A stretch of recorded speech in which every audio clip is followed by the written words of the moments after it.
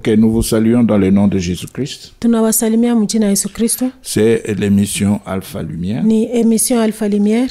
Nos numéros de téléphone Namba ya simu zetu za mkono 0972 0971 452 452 655. 655 Donc c'est pas 72 0971 ni 0971 452 452 655 655 082 082 515 515 0184. 0184 Bon, vous pouvez toujours regarder à la télé, munaweza hata kuangalia ku television. Vous retrouverez les numéros. mutapata namba ya simu za mkono yetu. Alors aujourd'hui nous voulons euh, continuer. Leo tunapenda kuendelesha à parler de Jésus-Christ, à vous communiquer la parole de Dieu pour que vous puissiez mieux connaître Dieu pour mieux le servir.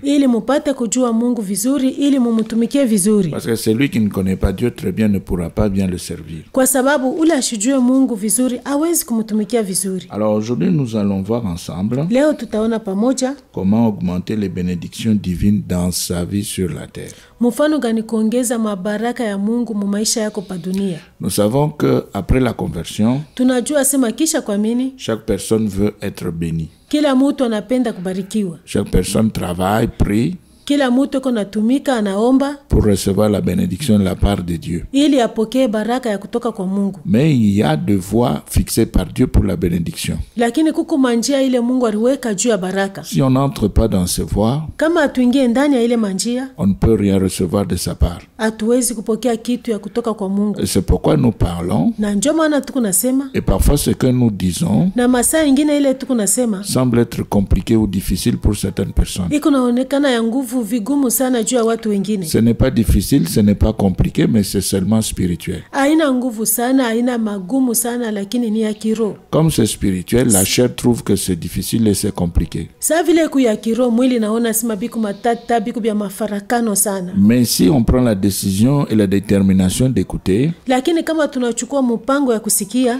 et bien de suivre de plus près et de lire dans la Bible, kufuata karibu karibu na kusoma ndani ya biblia on se rendra vite compte du fait que c'est facile à faire. tutaona mara moja kama ni mwepesi kuifanya. C'est spirituel, ce n'est pas charnel. ni ya kiroho aina ya kimwili. Alors, comment augmenter les bénédictions divines dans sa vie sur la terre? Mfano gani kuongeza mabaraka ya mungu mu maisha yako pa dunia? Alors, la première chose à faire, c'est la conversion. Kitu ya kwanza kufanya ni kuamini et se détacher de Satan, na kuachana na shetani se détacher de ses œuvres, kuachana na makazi yake de la chair et du monde, na mwili na dunia. appartenir à une église ou une assemblée, kuya wa kanisa fulani au makutano fulani. Avoir un pasteur. kuya na mchungaji. Comme sur la terre, les gens cherchent toujours à avoir euh, euh, l'avocat de famille. Saa vile hapa pa dunia watu wanatafutaka tu kuwa na mwamzi wa jamaa. Ou alors un médecin de famille. au munganga wa jamaa. Mais aussi chez Dieu, lakini tena kwa mungu. Il faut avoir un pasteur qui est le Père dans la foi. Et c'est lui qui devra donner la nourriture spirituelle, c'est-à-dire la parole de Dieu. Nous répétons pour euh, la meilleure compréhension, le pasteur n'est pas père spirituel. mchungaji asina baba wa kiroho Le pasteur est père dans la foi. mchungaji ni baba ndani ya imani Le père spirituel, c'est Dieu lui-même. baba wa kiroho ni mungu peke yake Et c'est lui qui nous a engendrés en esprit. na ni yenjo alituzaa katika roho Et le père terrestre, na baba wa pa dunia c'est le père biologique. ni baba wa mwili Il est notre géniteur. eko muzazi yetu Donc nous avons sur la terre les parents. basi hapa pa dunia tunakuwa na Ce sont les parents biologiques. ni wazazi mumwili Quand nous allons dans l'église, nous trouvons les pasteurs, wakati tunaenda kanisa tunakuta mchungaji parents dans la foi. anakuwa baba Et muimani Dieu reste Père na spirituel. mungu anabakia baba wa kiroho Alors maintenant, sasa quand on appartient à l'église, on trouve un Père dans la foi. wakati unakuwa wa kanisa fulani unapata baba Il muimani faudra suivre maintenant les enseignements. inafai sasa kufuata mafundisho Parce qu'on veut être béni. kwa sababu tunapenda kubarikiwa Maintenant, quand on reçoit les enseignements, sasa wakati wakati tunapokea il mafundisho faut prendre la décision de mettre ces enseignements dans la pratique. inapasha kuchukua mpango ya kuweka hii mafundisho katika tendo Nous insistons dans la pratique. tunakaza pale pa Il ne kutenda faut pas seulement se limiter à pouvoir écouter. haifai kusimamia tu mkusikia Chanter, danser, sortir. kuimba kucheza kutoka Même si la Bible n'accepte pas la danse, hata kama biblia haitike kucheza malgré tout ce qu'on pourra dire en rapport avec la danse, les gens continueront toujours à danser. ingawa yote ile tunaweza kusema kufatana na kucheza watu wataendelesha tu na kucheza Parce qu'ils sont déjà habitués à pouvoir danser. kwa sababu wanaisha kuzoea kucheza Mais ils croient qu'en dansant, ils seront bénis. wanazania kama mkucheza Ils watabarikiwa croient qu'en dansant, c'est ça la louange de Dieu. wanazania kama mkucheza njo kusifu mungu En dansant, on ne loue personne. mukucheza ausifu mutu On ne loue pas Dieu. amusifu mungu En dansant, on danse pour soi-même. mukucheza muntu eko nacheza juu yake On mwenyewe danse pour son propre plaisir. eko nacheza juu ya kujifurahisha C'est pourquoi, à un moment donné, quand les gens dansent, ils dansent avec sourire? Pourquoi Parce qu'ils savent eux-mêmes que ce qu'ils sont en train de faire là, ils le font pour eux-mêmes. Dieu n'a jamais demandé à quelqu'un de danser pour lui. David avait dansé de lui-même. Ce n'était pas Dieu qui lui avait demandé de danser. Lui-même, David avait dansé. Et aujourd'hui, c'est la même chose dans les ni Donc, notre problème, mambo yetu. c'est comment augmenter, augmenter les bénédictions. mfano gani kuongeza mabaraka? Pourquoi est-ce que nous disons augmenter? Juu ya nini tunasema kuongeza? Parce que déjà, quand on se convertit, on a déjà quelque chose. juu mbele wakati mutu anaamini anaisha kuwa na baraka. Lisons d'abord dans Éphésiens. tusome kwanza muefeso Vous allez voir pourquoi nous disons augmenter. mutaona juu ya nini tunasema kuongeza. Parce qu'il y a déjà à la conversion, kwa sababu ku wakati ya kuamini il y a déjà ce que l'homme reçoit de la part de Dieu. kuko ile mutu anapokea kutokea kwa mungu. Alors nous prenons Éphésiens 1 tunabeba waefeso sura ya kwanza. Et nous allons lire le verset 3.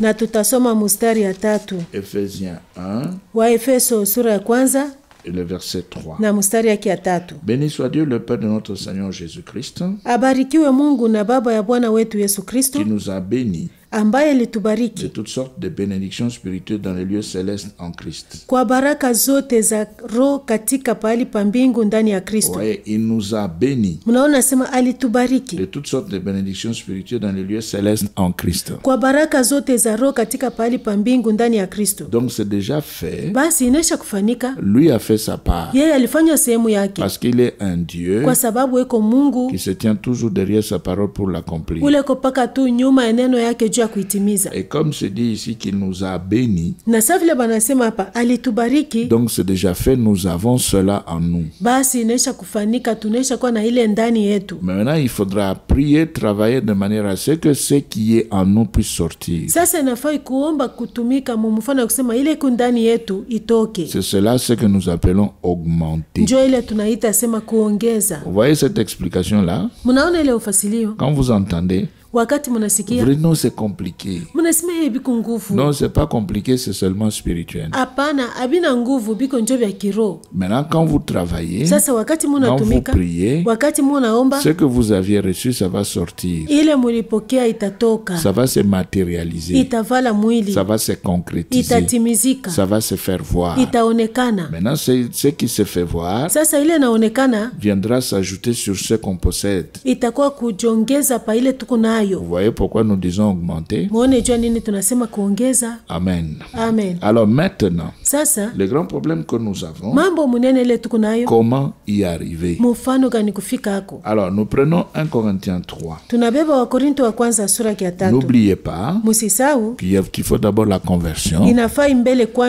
Il faut bien se convertir, abandonner Satan, abandonner ses œuvres, abandonner la chair, kuacha mwili abandonner le monde, kuacha dunia entrer dans une église, kuingia ndani ya kanisa moja appartenir à une église, kuya memba wa kanisa avoir moja un pasteur kuya na qui mchungaji est père dans la foi. uleko baba muimani Maintenant, sasa 1 Corinthiens 3, le verset 9. wakorinto wa kwanza sura tatu mstari ya tisa À partir de ce point, nous allons voir qu'est-ce qu'il faudra faire pour que nos bénédictions puissent s'augmenter, pour que nous puissions voir des choses dans nos vies qui pourront glorifier Dieu. bila vitaweza kutukuza Mungu. 1 Corinthiens 3, Wakorinto wa kwanza sura tatu nous lisons le verset 9. tunasoma mstari ya tisa Car nous sommes ouvriers avec Dieu, vous êtes les champs de Dieu, l'édifice de Dieu. Vous voyez le verset 9 Mnaona mstari ya tisa? Ce verset 9, C'est la conséquence de ce que Paul a commencé à dire depuis le verset 4. ni matokeo ya ile Paulo alianza kusema kuanzia ku mstari ya ine. Alors nous prenons verset 4. Tunabeba mstari ya ine.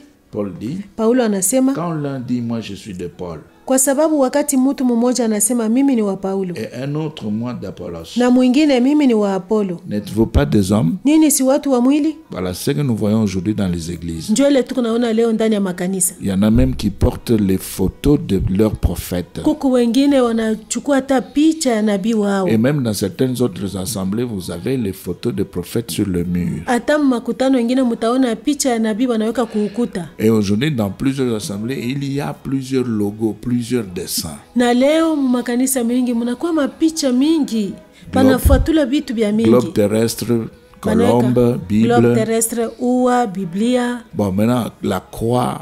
Sasa msalaba Vous avez d'abord euh, la terre, mnakuwa Globe mbele na globe terrestre, la croix, banaweka msalaba mle ndani, la colombe, banaweka ua. Et puis vous avez la Bible. na kisha mnakuwa tena na Biblia. Mais vous avez tout pris, non Basi. Maintenant, qu'est-ce qui reste pour les autres? Ni nini nabakia juu ya bengine? Dans votre seule église, on trouve tout cela. Mwile kanisa yenu mpaka mule bile maintenant, qu'est-ce qui reste pour les autres? Sasa ni nini nabakia juu ya Vous avez pris la terre, udongo, vous avez pris la croix, msalaba, vous avez pris la colombe, ua, et puis vous avez pris la Bible. kisha mnabeba na Biblia. Maintenant, qu'est-ce que vous avez laissé pour les autres? Bengine mnabachia nini? Pour qu'ils puissent aussi mettre dans leur logo. Juu nabo baweke ndani ya picha Vous yabo. voyez Mnaona? Alors Paul dit, Paulo anasema quand l'un dit, moi je suis de Paul, wakati mmoja anasema mimi ni wa Paulo, moi d'Apollos, mimi ni wa Apollo. Paul dit que vous êtes des hommes, Paulo anasema mko watu wa mwili, c'est-à-dire des charnels, watu wa mwili, c'est-à-dire des terrestres. watu wa padunia Ça, ce ce n'est pas céleste, ce n'est pas spirituel. aina ya kumbingu, aina ya kiroho. Maintenant au verset 5, Sasa kumstari ya tano. Il dit, qu'est-ce donc Apollos, qu'est-ce que Paul? Anasema basi Apollo ni nani? Au Paulo ni nani? Des serviteurs par les moyens desquels vous avez cru, Ni watumishi kwa njia yao mliamini, selon que le Seigneur l'a donné à chacun. kama Bwana alivyomupa kila mutu. Maintenant, Paul fait voir Sasa Paulo anaonyesha que lui et Apollos sont de simples serviteurs. ya kama yeye na Apolo ni watumishi wa bule, En d'autres termes, des serviteurs inutiles. mu misemo wengine watumishi wa bule. Alors maintenant, Paul dit, Sasa Paulo anasema au verset suivant, kumstari ya saba il dit, ya moi j'ai planté kumstari ya sita anasema mimi nilipanda, et Apollos a arrosé Apolo akatia maji, et Dieu a fait croître. lakini Mungu alikuza. Il y a ici trois opérations. Hapa makazi tatu, Trois opérations de bénédiction. makazi tatu ya baraka. Et c'est à partir de ce point que vous allez voir comment augmenter les bénédictions dans votre vie. Paul dit, j'ai planté. mimi nilipanda, Apollos est arrivé pour arroser. Mais c'est Dieu qui fait croître. Maintenant, qu'est-ce que vous, vous pouvez faire pour que vous puissiez aussi augmenter les bénédictions dans votre vie sur la terre? Voilà, le verset 7 vous répond. Nous sommes là dans 1 Corinthiens chapitre 3 verset 7. Tunakuwa hapa mu Wakorinto wa kwanza sura ya tatu mstari ya saba. Paul dit, en sorte que ce n'est pas celui qui plante qui est quelque chose, basi hivi yeye anayepanda si kitu, ni celui qui arrose, wala yeye anayetia maji, mais Dieu qui fait croître. lakini Mungu anayekuza. Donc celui qui plante Basi ule anapanda et celui qui arrose na ule anatia maji ne sont rien aux yeux de Dieu. ni bule kumacho ya Mungu. Ce qui est important, c'est ce que Dieu lui vient faire. Ya lazima ni ile Mungu yeye anakuwa kufanya, Il vient pour faire croître. anakuja juu ya kukomesha. Alors Paul dit Sasa Paulo au anasema verset 8, kumstari ya mnane, il dit celui qui plante et celui qui arrose basi yeye anayepanda naye anayetia maji sont égaux. ni mmoja. Et chacun recevra sa propre récompense selon son propre travail. na kila mtu atapokea mshahara wake mwenyewe sawasawa na tabu ya kazi yake mwenyewe. Voilà, donc ici, mnaona hapa Paul est venu paulo alikuja avec une semence, na mbegu. Il a planté, anapanda. Il est parti. anakwenda. Apollos est arrivé, apolo anakuja. Il a regardé la semence de Paul. anaangalia mbegu ya paulo. Il s'est rendu compte du fait que lui n'avait plus à planter. Akaona ya kama yeye tena et que maintenant ce qu'il doit faire c'est seulement arroser. ile yeye anapasha kufanya sasa ni kutia tu maji Alors il s'est dit comme la plante est déjà là. akasema sasa hivi mbegu basha kupanda Maintenant moi je n'ai plus rien d'autre à faire, je prends de l'eau, j'arrose. mimi sina na kazi ingine ya kufanya nachukua tu maji natia Et Apollos va arroser et se retirer. na apolo atatia maji anatoka Alors maintenant Dieu arrive, sasa mungu anakuja il examine la plante, anaangalia ile il examine le travail d'Apollos. anaangalia kazi ya pa- Maintenant apolo il commence à faire croître. sasa anaanza kukomesha Voilà, frères et sœurs, il y a un grand secret à ce niveau que vous devez comprendre et maîtriser. Maintenant, si Paul avait planté une plante qui n'a rien à voir avec la nature, la volonté, les pensées et les voies de Dieu, Dieu ne pouvait pas s'approcher pour pouvoir faire croître. S'il l'a fait, ça veut dire que la plante de Paul était conforme à sa nature, conforme à sa volonté. Ça se retrouvait dans ses pensées et njia zake Et c'est pourquoi il est venu pour faire croître. Si cette plante n'avait rien à voir avec sa nature, eh bien Dieu ne pouvait rien faire. Il ne pouvait pas s'approcher pour faire croître. Si cette plante kama hii mbegu n'avait rien à voir avec la nature de Dieu, haikukuwa mambo na hali ya mungu. Eh bien Apollos ne pouvait pas arroser, il allait planter et arroser. apolo ashikuweza kuweka maji aliweza kupanda kisha natia Mais maji quand il est arrivé, lakini wakati il a anafika examiné ce qui a été planté, anaangalia ile il baripanda a vu que anaona ya kama c'était conforme à la nature de Dieu, ilipatana na hali ya c'était mungu conforme à la volonté de ilipatana Dieu, na mapenzi ya ça se mungu. trouvait dans les pensées et voies de Dieu. ilikuwa ndani ya mafikiri na njia za mungu Alors il a dit, basi akasema je n'ai plus rien d'autre à planter. sina tena na kitu ingine ya kupanda C'est une vraie plante. ni mbegu ya mzuri Ce que moi je dois faire ile mi maintenant, napashwa kufanya sasa c'est seulement arroser. ni kutia tu maji Et il a arrosé, na alitia et il s'est na retiré, alitoka et Dieu est arrivé. na mungu Quand il a regardé, wakati il a vu sa nature, anaona hali il a vu sa volonté, anaona il a vu ses pensées, anaona il a vu ses voies. anaona njia Alors il s'est dit, maintenant je dois faire croître. sasa mi napashwa Il a accepté. Maintenant, si toi sur la terre, tu veux augmenter les bénédictions dans ta vie, fais avec Dieu ce que Dieu est en train de faire. Dieu est en train de faire croître. Toi aussi, travaille à la croissance spirituelle dans ton assemblée. Fais tout pour que les autres puissent grandir spirituellement. Dépense-toi Ujipike-pike. pour la croissance spirituelle des autres. Alors tu vas dire, mais comment? Eh bien, je suis ici pour te le dire. Je suis là pour te montrer, pour te révéler le chemin. Prends la décision de pouvoir contribuer à la croissance spirituelle de ta vie, de ton cœur et des autres vies dans l'assemblée. En faisant cela, tu es avec Dieu dans ce qu'il fait. Paul était avec Dieu dans ce que Dieu était en train de faire. Et c'est pourquoi il est allé, il a planté na njo maana alienda anapanda et sa semence na mbegu yake était acceptée par Dieu. ilikubaliwa na mungu Parce qu'il savait très bien kwa sababu alijua que si on arrive à pouvoir kama unafika ce qui est contraire à la nature de Dieu, Dieu ne viendra pas pour faire croître. ile kukinyume kwa hali ya mungu mungu asitakuwa kuikomesha Alors maintenant, dans Jacques, sasa muyakobo allons-y, twende vous allez voir maintenant mutaona sasa comment participer à la croissance spirituelle. mfano gani kuchukua sehemu mkukomala ya kiroho. Nous prenons Jacques 1, tunabeba yakobo sura ya kwanza. Vous allez voir comment il faut planter, il faut contribuer au travail de la croissance. mutaona mfano gani inapasha kupanda kusaidia kukazi ya kukomala Alors nous prenons Jacques 1, tunabeba yakobo sura ya kwanza. 21. makumi mbili na moja. C'est pourquoi rejetant toute souillure basi wekeni mbali uchafu wote et tout excès de malice, na ubaya unaozidi recevez avec douceur na pokeeni kwa upole la parole neno qui a été plantée en vous lililopandwa ndani yenu et qui peut sauver vos âmes. linaweza kuokoa roho zenu Nous relisons. Tunarudia hapo. C'est pourquoi, basi rejetant toute souillure wekeni mbali uchafu et wote tout excès de malice, na ubaya unaozidi recevez na pokeeni avec kwa douceur upole. la parole qui a été plantée en vous neno lililopandwa ndani yenu et qui peut sauver vos âmes. linaweza kuokoa roho zenu. Alors, qu'est-ce que ça veut dire ici? Inataka kusema nini Ça hapa veut dire que la parole qui doit être enseignée, ça doit être une parole qui est conforme à la nature de Dieu.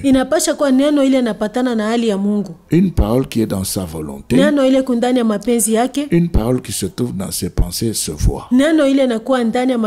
njia zake. On n'a pas le droit d'enseigner une autre parole qui n'a rien à voir avec la nature de Dieu, qui n'a rien à voir avec la volonté de ile haina Dieu, mambo na mapenzi ya qui ne mungu se retrouve pas dans ses pensées et ses voix. ile haijikute ndani ya mafikiri na njia zake. Et si vous faites cela, kama mnafaa vile vous êtes dans un autre travail mnakuwa ndani ya kazi qui ingine n'a rien à voir avec Dieu. haina mambo na mungu. Mais si vous plantez, lakini kama vous mnapanda sémez mnapanda une parole, neno.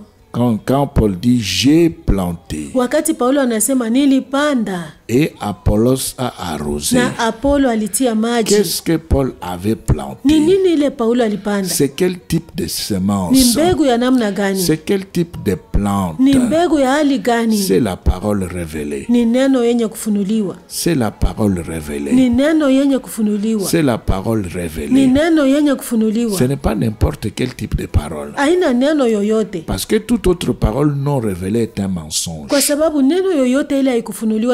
Kwa sababu Toute autre parole non révélée, eh bien, rattache simplement l'homme à Satan, à ses œuvres, à la chair, au monde, au péché. Parce que c'est pas une parole révélée. Eh bien, ce que Paul avait planté, c'était véritablement révélé. Toujours dans Jacques 1, mpaka muyakobo sura ya kwanza. Écoutez le verset 18. sikieni mustari ya kumi na mnane Il nous a engendrés selon sa volonté, kwa mapenzi yake alituzaa sisi par la parole de vérité. kwa neno la kweli Par la parole de kwa vérité. neno la kweli C'est qu'il y a une autre parole de mensonge. nisema kuku neno ingine ya Et la parole de vérité, na neno ya kweli c'est la parole ni révélée. neno ile inafunuliwa Eh bien, nous allons reprendre un verset tutarudilia kushairi moja que nous avions lu la fois passée. ile tulisoma mara ilipita Dans Galates 1, muwagalatia sura ya kwanza. Paul parle paulo ko nasema et il montre na anaonyesha qu'il avait reçu la parole révélée ya kama alipokea neno yenye kufunuliwa. et que Dieu na mungu ne pouvait pas ne pas s'approcher pour faire croître ce qu'il avait semé ou planté. ashikuweza kukosa kukaribia juu ya kukomesha ile ye alipanda. Galates 1, wagalatia sura ya kwanza. 11, 12. Je vous déclare, ndugu que l'évangile qui a été annoncé par moi n'est pas de l'homme. habari njema iliyohubiriwa nami si ya mutu Vous voyez? Paul le dit déjà ici. Il dit n'est pas de l'homme. asema si ya mutu Ça veut dire que c'est pour l'esprit. C'est conforme à la nature de Dieu. Pourquoi? Parce que Dieu est esprit. Et il faudra que ceux qui l'adorent l'adorent en esprit et en vérité. Maintenant, Paul dit, l'évangile qui a été annoncé par moi n'est pas de l'homme. Voilà pourquoi quand il avait planté, Apollos arrive. Il regarde la plante de Paul, il se rend compte du fait que c'était une bonne semence. C'est que Apollos avait la capacité de discerner la parole révélée de la parole non révélée. Alors il se dit, ici c'est la parole révélée qui est conforme à la nature de Dieu. Ici c'est la parole de l'esprit qui est conforme à la nature de Dieu. Na hali ya Comme Dieu est esprit, vile mungu ni roho. il faut que ceux qui l'adorent inafai wale na en esprit en vérité wamwabudu katika roho na kweli na wapate kupanda la parole révélée, neno yenye kufunuliwa. la parole de l'esprit. neno ya roho. Maintenant au verset 12, sasa kwa mstari wa kumi na mbili. Galates 1, 12, wagalatia sura ya kwanza mstari wa kumi na Paul dit ceci. paulo anasema hivi. Car je ne l'ai ni reçu ni appris d'un homme. maana sikuipokea kwa mutu wala sikufundishwa na mutu. Donc il n'y a personne qui avait donné des leçons à Paul. Vous voyez? Et Paul dit, mais par une révélation de Jésus-Christ. Donc l'Esprit est arrivé, l'Esprit a donné à Paul une parole révélée. Et Paul a pris maintenant la parole révélée, il est allé prêcher. Planter ou s'aimer, c'est prêcher. Planter ou s'aimer, c'est prêcher. kupanda ni kuhubiri Maintenant, Paul est allé, sasa paulo alienda il a prêché la parole révélée. alihubiri ya kufunuliwa Apollos arrive, apolo anakuja il vérifie, anaangarishisha on lui montre ce que Paul avait prêché. banamwonyesha bile paulo alihubiri Ah, Apollos se dit, apolo anasema moi aussi je vais arroser. ah, na nitatia maji Arroser veut dire kutia maji nataka kusema faire des commentaires sur ce qu'on avait déjà enseigné. Kupituluka au kusema tena juu ya ile balikuwa basha kufundisha Celui qui arrose ule konatia maji répète. anapituluka. Et fait des na commentaires anasema yulu pour que les gens puissent bien juu comprendre wa- watu wapate kuelewa vizuri ce qu'on avait prêché. ile balibahubiri. C'est pourquoi dans une église, njo maana ndani ya kanisa le Père dans la foi, baba ndani ya imani c'est le ni pasteur. mchungaji Ce qu'il enseigne, c'est ce qui doit être répété. S'il y a des commentaires, c'est sur ce que le Père dans la foi a enseigné. S'il y a des exemples à donner, c'est sur ce que le Père de la foi a donné. Il ne faut pas venir avec un enseignement opposé à l'enseignement du pasteur.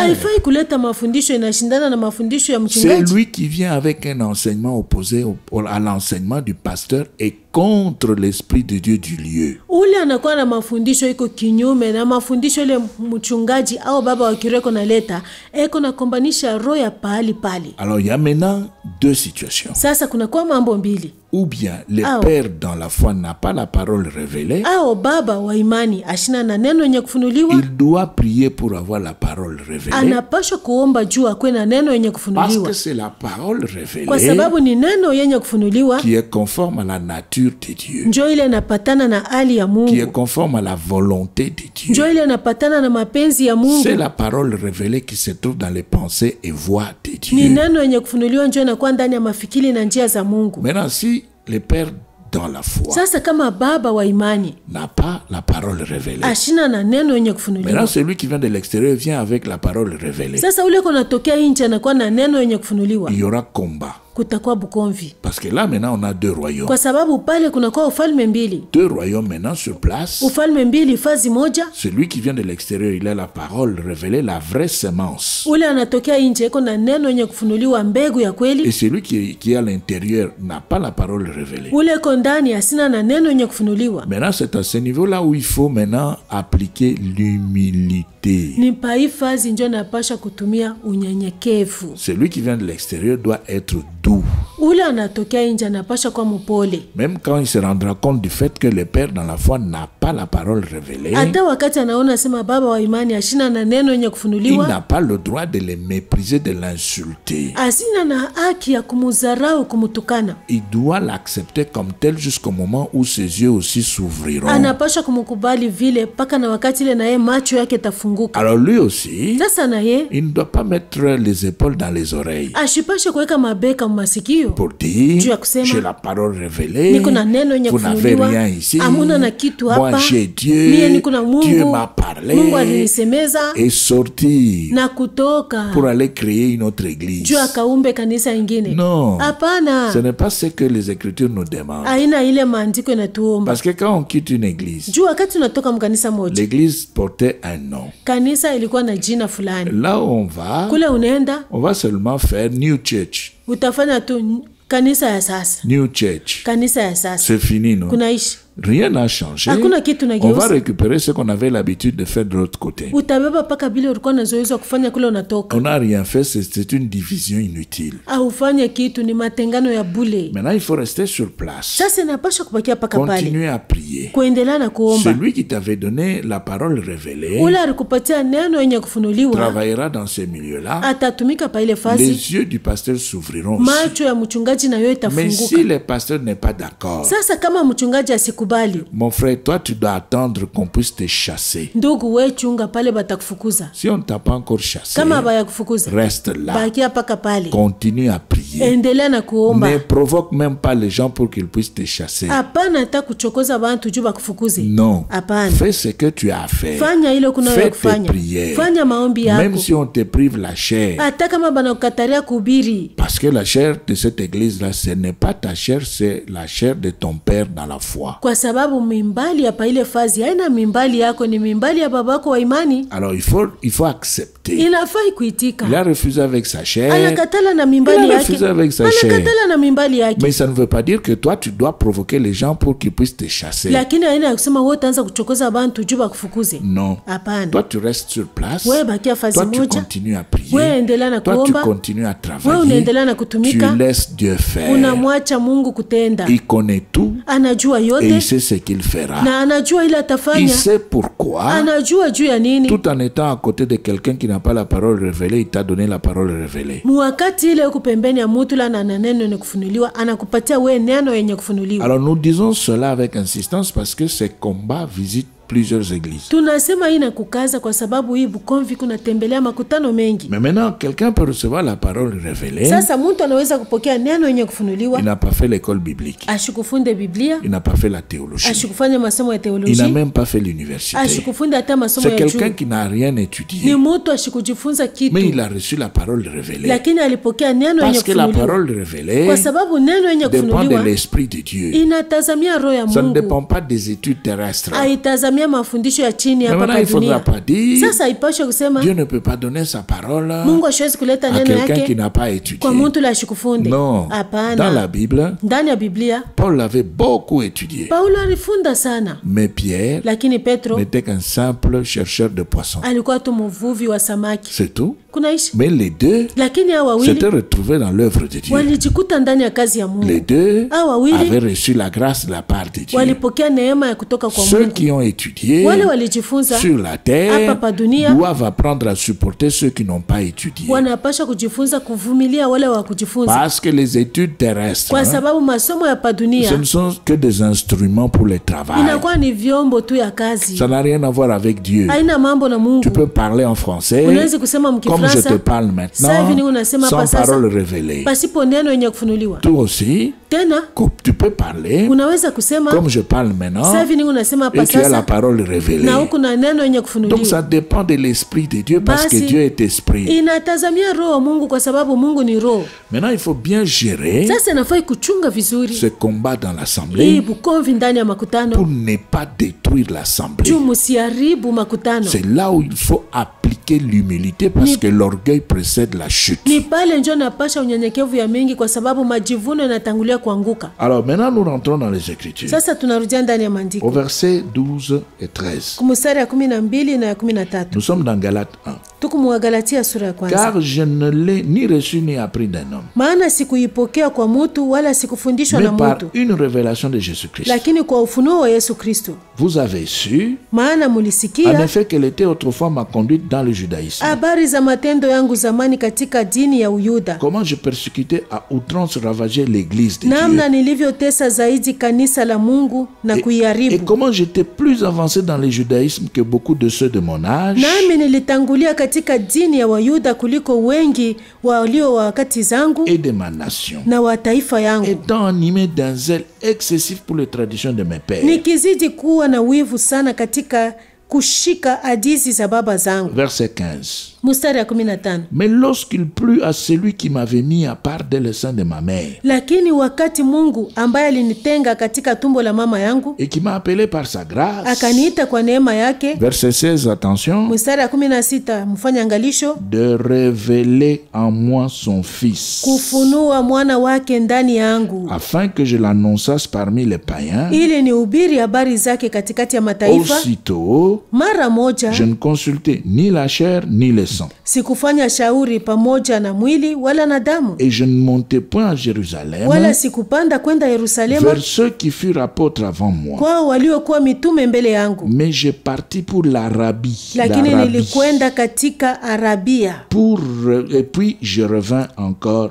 à Damas. nikarudi tena damasiki Qu'est-ce qu'il est allé faire dans le désert d'Arabie? Alienda kufanya nini mjango ya arabia? Étudier la Bible. kufunda biblia Parce qu'il avait reçu l'appel, il devait prêcher Christ. Maintenant, il devait étudier les Écritures pour bien connaître Christ. Maintenant, si toi, tu veux augmenter les bénédictions dans ta vie sur cette terre, fais tout pour la croissance spirituelle des autres. Fais tout pour que les gens puissent grandir sur le plan spirituel. Fais tout pour que les gens puissent aimer la révélation. En priant, en jeûnant, en luttant contre la cécité et la surdité. Si tu fais cela, d'abord pour toi-même, ensuite pour les autres, tu vas augmenter les bénédictions dans ta vie. Si dans tes prières, tu es en train de prier pour vaincre la cécité, Tu as commencer à avoir des visions. pour vaincre la surdité afin de commencer à écouter Christ. Tu finiras par le voir, lui, le Christ, et entendre sa voix. Maintenant, il va commencer à te parler. Il va commencer à te montrer le chemin ou des choses à faire. Vitu vya kufanya Et tu vas commencer à obéir. na wewe utaanza kutii Et quand tu vas obéir, na wakati utatii il va te bénir. atakubariki Et tu vas augmenter les bénédictions dans ta vie sur la na terre. utaongeza mabaraka maisha yako pa dunia Si nous prenons Ésaïe 55, kama tunabeba isaya makumi tano na tano vous allez voir mutaona au verset 8 et 9.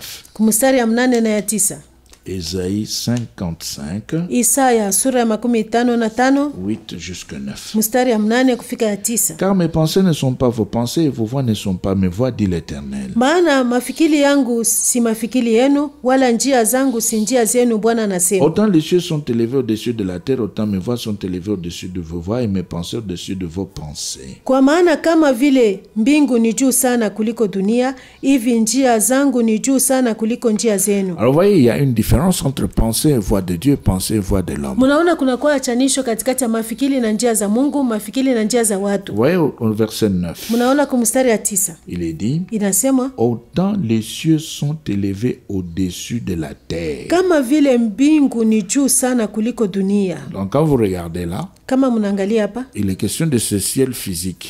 tunasema ni hii mbingu tunaona na macho ya mwili. C'est un exemple utilisé par le prophète. Ni mfano ile nabii anatumia pour faire voir la différence qui existe entre les pensées et voix de Dieu et pensées et voix de l'homme. juu ya kuonesha achanisho liko katikati ndani ya mafikiri ya njia na, ka- kati ya mafikiri na njia za mutu mafikiri na njia za mungu Et il montre ici la distance qui se trouve entre les deux. anaonyesha hapa ile urefu iko katikati ya hii mbili Maintenant, pour que vous puissiez quitter les pensées et voix des hommes et entrer dans les pensées et voix de Dieu qui se trouve au-dessus. sasa juu mupate kutoka mumafikiri na njia ya watu mwingie mumafikiri na njia ya mungu iliyoko juu Il faut la révélation de la parole. inafai ufunuo ya neno C'est pourquoi maana nous l'avions dit la fois passée. tulisema mara ilipita Dans Ésaïe 8 muisaya sura ya mnane au verset 20, kumstari ya makumi mbili il est dit ceci. banasema hivi On dit banasema Ésaïe chapitre 8, isaya sura ya mnane le verset 20. mstari ya makumi mbili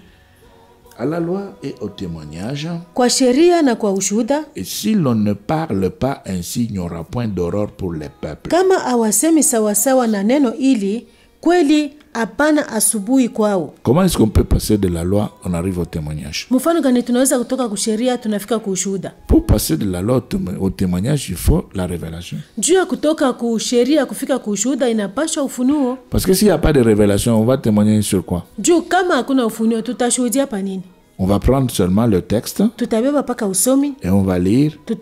Et puis on va commencer, on va chercher comment appliquer cela.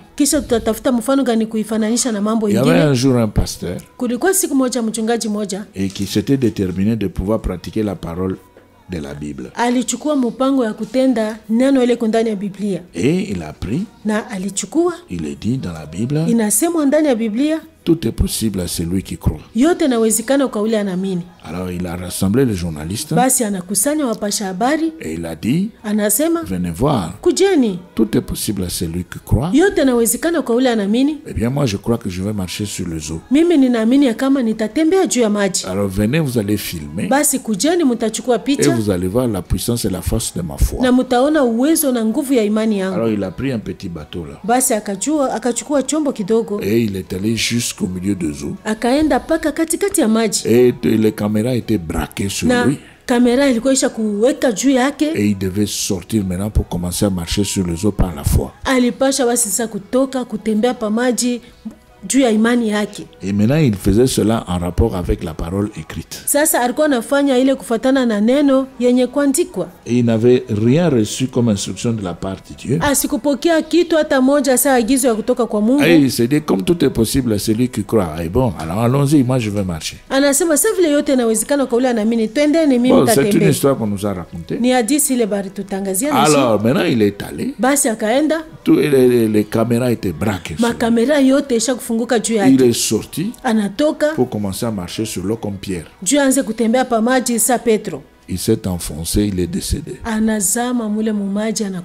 Parce qu'il ne pouvait plus nager, il ne pouvait pas sortir des eaux. kwa sababu kuogelea kutoka Pourquoi? Juu ya nini? Parce que la parole qu'il a évoquée est vraie, cette parole se trouve dans la Bible. kwa sababu ile neno alisema ni ya kweli iko ndani ya biblia Tout est possible à celui qui croit. yote kwa anaamini se trouve dans la Bible. iko ndani ya C'est une parole donnée par Jésus. ni neno ile yesu alileta Mais comme l'Esprit de Dieu ne l'avait pas prononcé dans ses oreilles, lakini sa vile roho wa mungu ashikuitangaza ndani ya masikio yake pour qu'il puisse faire quelque chose, il s'est levé, il a lu, il s'est approprié, il est parti.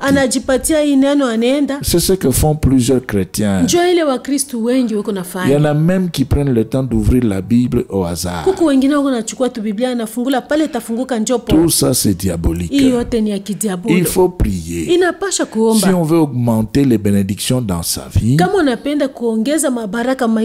il faut prier pour que les yeux puissent s'ouvrir et que les oreilles se débouchent. inafai kuomba juu macho ifunguke masikio ifunguke Pour voir Jésus-Christ, pour l'écouter. ili upate kuona yesu kristu na kumsikia Pour voir ce que Dieu veut qu'on puisse faire. juu ya kuona ile mungu anapenda mfanye Et la révélation de Dieu, na ufunuo ya mungu c'est la porte de la ni bénédiction. mulango ya baraka La révélation de Dieu, ufunuo ya mungu c'est la porte de la ni victoire. mulango ya La révélation de Dieu, Ufunuo ya Mungu c'est le pouvoir du chrétien.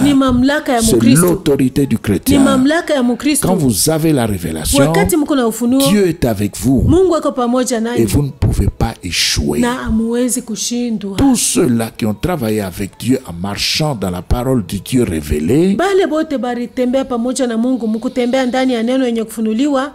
n'ont pas échoué, ils avaient le succès. Alors dans Ésaïe 56, on va bientôt terminer. Vous allez voir au verset 6. mutaona kumustari ya sita Ésaïe 56, 6. isaya makumi tano na sita mustari ya sita Écoutez ce qui est dit. musikiele banasema 56, 6. makumi tano na sita mustari ya sita Et les étrangers qui s'attacheront à l'Éternel pour, pour les servir, vile vile wana wa wageni ambao wanajileta kwa bwana ili wamtumikie pour aimer le nom de l'Éternel, na kupenda jina la bwana pour être ses serviteurs. kuwa watumishi wake. Tous ceux qui garderont le sabbat, kila mtu anayeshika sabato pour ne point le profaner, asiivunje et qui persévéreront dans mon alliance. na kushika sana agano langu Qui persévéreront dans mon alliance. watakaodumu katika agano langu Maintenant au verset 11. sasa kumstari ya kumi na moja Et ce sont des chiens voraces, na imbwa wale wa insatiables. wasioshiba Oui, ce sont des bergers qui ne savent rien comprendre. ni imbwa wanaona choyo sana Tous suivent leur propre voie, wote wanafuata njia zao. Chacun selon son intérêt, kila mmoja kwa faida yake. Jusqu'au dernier. toka pande zote. Vous voyez? Mnaona? Donc ce sont des gens qui ne sont pas satisfaits, des bergers qui ne savent rien comprendre, qui se trouvent dans leur propre voie. Et qui suivent leurs propres intérêts. Ces gens-là ne vont, ne vont pas chercher la révélation de la parole de Dieu.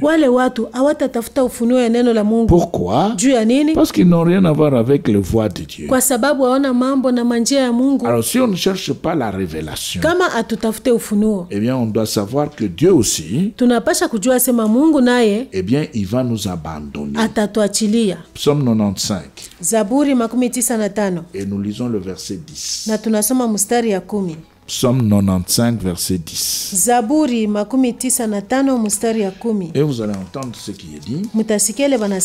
Pendant 40 ans, j'eus cette race en dégoût. kwa miaka makumi ine nilihuzunishwa na kizazi hiki. Et je dis, nikasema c'est un peuple dont le cœur est égaré. ni watu waliopotea moyoni mwao Ils ne connaissent pas mes voies. wala awajue njia zangu Pensées et voies de Dieu mafikiri na njia za mungu qui sont au-dessus des pensées et voies de l'homme. ile nakuya juu ya mafikiri na njia za watu Et pour entrer dans les pensées et voies de na juu Dieu, ya kuingia ndani ya mafikiri na njia za mungu l'homme doit avoir les yeux ouverts, les oreilles débouchées mutu anapasha kuwa na macho wazi masikio wazi pour pouvoir recevoir la parole révélée. yenye Et par la parole révélée, on va maintenant obéir et faire entrer dans sa vie plusieurs bénédictions de la grâce de Dieu. Que Dieu vous bénisse.